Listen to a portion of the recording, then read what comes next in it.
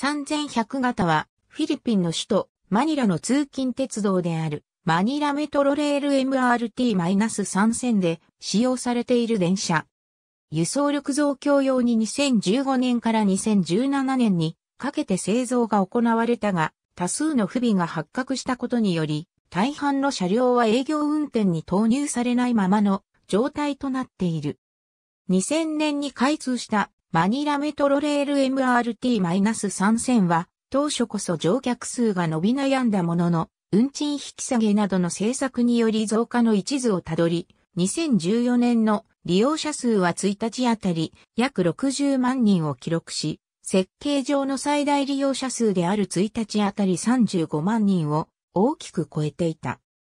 すでに2000年代後半から車両増備が検討されていたものの、政府との協議が難航したことで計画がまとまらず、開業時から在籍していた3000系、電車73両は、故障が頻発しても予備車が不足しているため、営業運転に使用し続けなければならない事態となり、輸送力は限界に達していた。そこで、フィリピン運輸通信省はこれらの状態を改善するため、2014年6月に中国、北社大連汽車車両へ新型電車48両分の発注を行った。契約金額は5億4000万人民元であった。路線内に存在する究極線に対応するため3、車体連接構造を採用しており、最大3両編成での営業運転が行われるが、将来的な4両編成での運転にも対応している。最高気温が摂氏30度を超える高温多湿なマニラの環境に合わせ、車体は耐腐食性に優れたステンレス鋼を用いるほか、屋根上には1両につき3機のクーラーが搭載されている。自動連結機や制御装置の製造はホイトが手掛けており、各先頭車体床下に1機設置されている連続出力359馬のイベット素子による VVVF インバータ制御装置によって運転台カーブにある動力台車に2機存在する主電動機が制御される。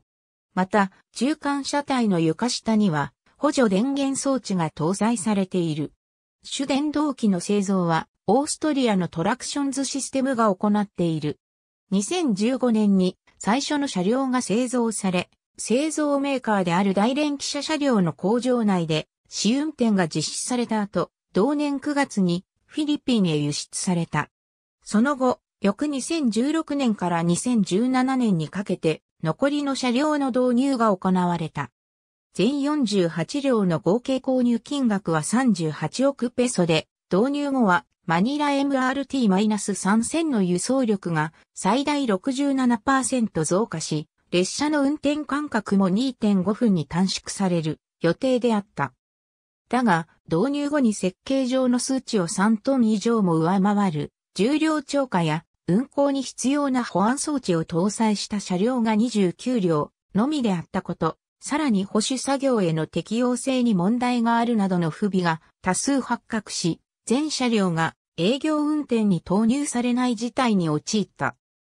それに伴い2017年にフィリピン運輸省は車両の返却を含めた対応策の検討を表明するにまで至ったものの、車両不足を解消する必要性から翌2018年以降、営業運転開始に向けた試験が始まり、同年7月以降は、フィリピン政府から要請を受けた、東芝インフラシステムズの監督下で、大連汽車車両による調整が実施された。